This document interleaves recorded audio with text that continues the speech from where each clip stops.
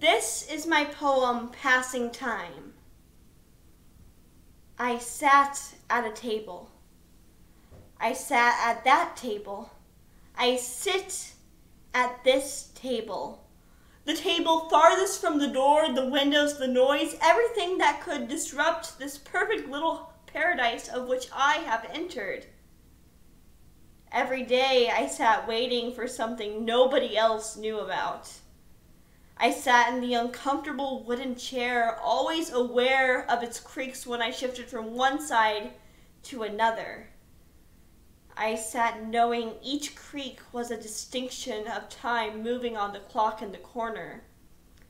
I sat staring at the matching wood of the surface, tracing the smooth patterns and waiting, no, wondering for when my secret something was going to arrive.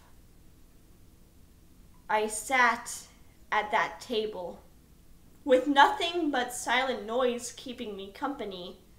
The imagined tickings but not talkings from the analog clock. I sat listening for the noise to escape into the cracks of the old wooden door. A noise that never did come. I sat hearing my shoes sing a dull, forgotten song onto the carpet. I wonder if I am waiting, no, hoping for that forgotten song to see me. I sit at this table every day for seconds, minutes, hours, and probably even days. The creaks have gone from the chair to ringing in my ears. Time has passed. Time is passing.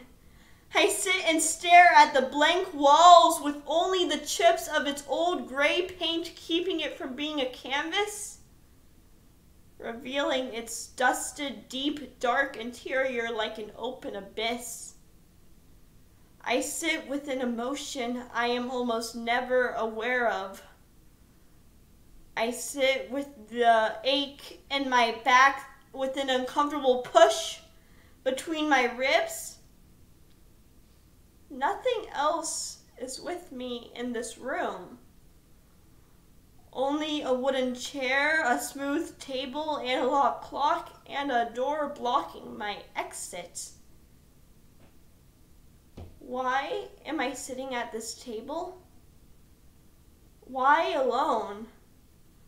What am I waiting? No wondering, no hoping, no begging to come and find me.